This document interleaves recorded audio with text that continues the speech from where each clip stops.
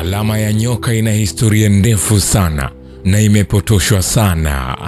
Imeandaliwa na mtaalamu wa ufundi, imehaririwa na Isaya Benson Mwakilembe. Mimi ni Richard Shio, The Rich Voice. Ni follow Instagram kama Rich Voice Official. Kwanza, matibabu ya leo wameichukua tu na maana halisi hawajui, au wameipotosha au kupotoshwa kwa sababu za ujinga au kutokujua na kadhalika. Kwa nyakati za leo, ukiwauliza wanatoa maana mbili. Kwanza, wanasema kuwa hii imetokana na alama na nyoka wa Moses, yaani Musa wa Biblia aliyotumia kutibu watu waliumwa na nyoka waliotolewa na Mungu wao kuwaadhibu baada ya kutomtii. Soma Biblia. Pili, wanasema inamaanisha watu wa kale walivyokuwa wanatoa minyoo mwilini kwa kuizungushia kwenye kijiti na kuzungusha hicho kijiti ili mnyoo utoke mwilini. Nadhani kuna sababu ya tatu ambayo siikumbuki vizuri, lakini uhalisia ilipotokea alama hii ni mbali sana na ilikuwa na maana ya kiroho na kubwa sana kuliko leo. Baadhi ya chanzo cha alama hii: Cadisas coil au staff au fimbo, Ouroboros, Asclepius, Nagas au Nagaman, Shiva, Kundalin, Falun, Yin Yang na nyingine nyingi sana. Kwanza kabisa ifahamike kuwa alama ya nyoka na viumbe wengine wa kufanana nao kama dragons ilitumika kuonyesha nguvu takatifu ya asili.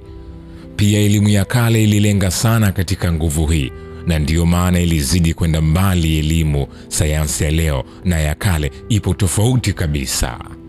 Elimu ya kale ililenga utakatifu na nguvu takatifu ya asili ambayo ndiyo msingi wa kila kitu, inazaa na kutengeneza kila kitu. Elimu ya leo tunalenga kwenye mazao tu ya nguvu hii na hatuijui kabisa. Sasa tukirudi katika alama hii ya nyoka kwenye matibabu, ni kwamba ilitumika kuwakilisha tiba takatifu ya asili ambayo ndo hiyo nguvu ya asili. Hapa naomba nieleze kidogo kwamba hakuna tiba rahisi na kubwa kuliko zote kama tiba asilia na tiba asili lengo lake ni kuweza kuupatia mwili nguvu ya asili tu basi. Nguvu hii ndiyo inayofanya kazi zote mwilini. Tunakula, kunywa, kupumua na kadhalika, ili tuupatie mwili nguvu na si vinginevyo. Lakini njia hizi za kuupatia mwili nguvu ya asili ni duni katika zote.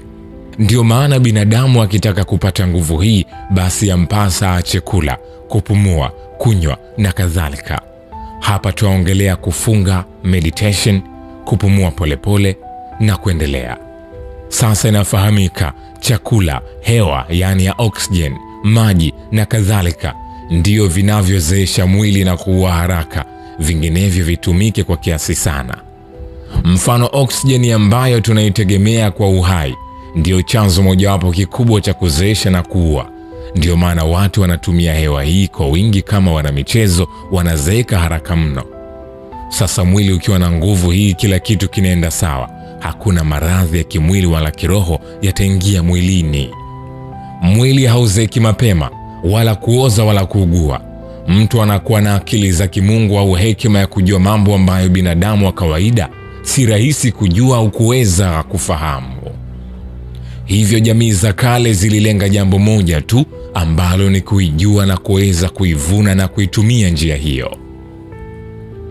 Kila kitu kilifanyika kwa misingi ya kuvuna nguvu hii, na hizo taratibu za kuvuna nguvu hii ndizo zilizozaa tamaduni na mila zote tunazoziona na hata zingine kuziita potofu. Hivyo basi, kila njia ya maisha ya asili na kitamaduni unayoiona leo hii ililenga kuvuna na kuilinda nguvu hii isipotee mwilini, yaani kutembea bila viatu, kuvaa ngozi, kucheza ngoma, kula, kuabudu katika asili, kuota moto, kutazama jua ambayo inaitwa leo hii kuabudu jua, dawa za asili, kulala katika miti, ngozi na mawe, kusaga nafaka kwa mawe, kutambika, kuangalia eneo maalum la kujenga kwa mpangilio wa miti na kadhalika, mfano feng shui na vitu vyote katika tamaduni zote zililenga katika uvunaji na uhifadhi wa nguvu takatifu ya asili mwilini. Tiba asilia zinatibu kwa kuupatia mwili nguvu hii na si vinginevyo. na ndiyo maana sayansi ya leo haitakaa ije kuelewa tiba za asili, labda mpaka irudi njia za kale ambazo kwa sasa inazitukana na kuzidharau kuwa duni, na yenyewe kujikita katika njia ambazo ni adui wa nguvu hii na njia ambazo wale wakale waliopita njia ya asili waliikataa sayansi asa kuwa ni usofisti, yani sofistry usio na maana na adui mkubwa wa utakatifu, na ilipigwa marufuku mpaka pale wapumbavu wa magharibi walipokuja kuibua kwa kufeli kuelewa maarifa haya ya kale. Mwisho, usisahau kusubscribe, kulike na kucomment chaneli hii. Asante.